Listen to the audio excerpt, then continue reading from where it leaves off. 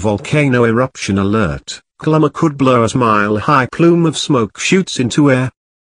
Geologists are watching one of the world's most active volcanoes as it threatens its first major eruption in over 100 years. The 13,325 feet Colima volcano in Mexico known as the Fire volcano is the country's most active but has not had a major eruption in 113 years but volcanologists have recorded an increase in activity since 2013.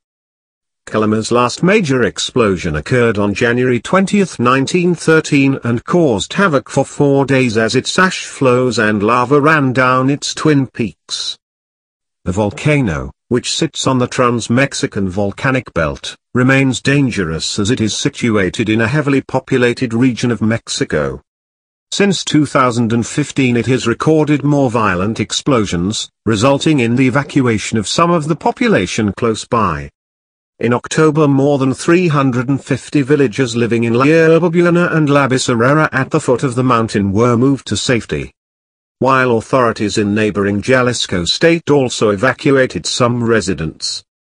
According to research there has been 43 known eruptions over the last 400 years and flows from Colima have traveled 15 kilometers from the center of the volcano while ash was recorded as far as 450 miles away. On Friday evening and Saturday morning, it had a pair of eruptions each spewing out large columns of gas and ash more than 2,500 meters, 8,000 feet, high.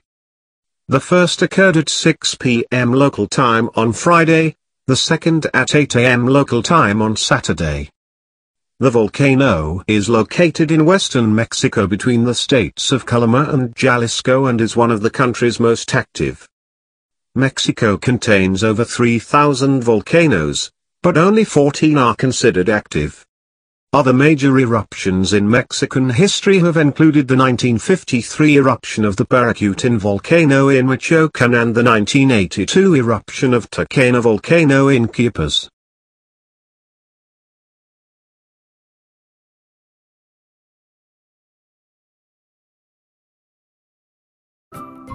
Thank you for watching.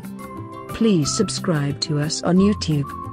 If you like donate to us visit home on the page PayPal.